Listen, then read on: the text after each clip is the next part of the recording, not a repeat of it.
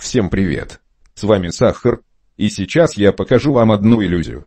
Но прежде, вы должны сделать видео в полный экран, я подожду. А теперь положите руки на монитор, как показано у вас на экране. Без этого ничего не получится.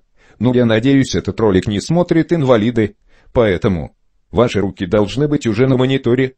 Итак,